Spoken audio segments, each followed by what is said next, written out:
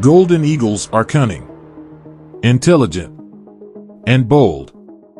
Diving in from the sun to blind their prey and using stealth-like tactics to cut off its means of escape, they are fierce and strong hunters.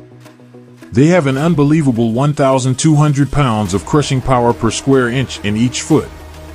Although lethal interactions between wolves and other apex carnivores have been reported for a handful of species, the killing or consumption of wolves by free-ranging golden eagles has rarely been reported.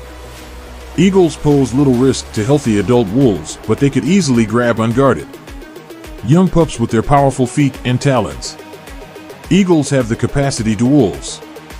They can eat wolves as carrion and eagles can be taught to hunt wolves. I've seen videos on YouTube where trained eagles kill wolves in less than a minute. Can they kill a human? Can they? Absolutely.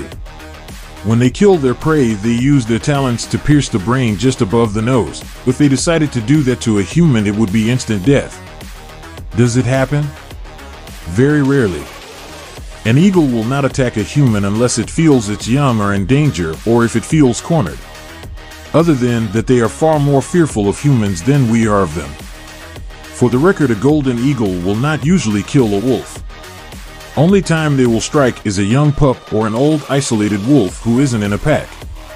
A golden eagle stands in no chance against a pack of 6 to 12 wolves, and it knows it which is why they avoid confrontation.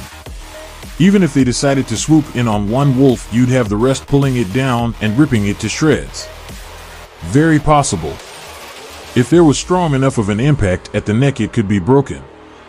If a talon caught the right area, a major artery could be hit and could cause the person to bleed out. I am sure odds are very, very low of this happening, but not impossible. Certainly. If they are trained to go for the jugular, their talons are strong enough and sharp enough. Yes. More animals than you think can kill humans.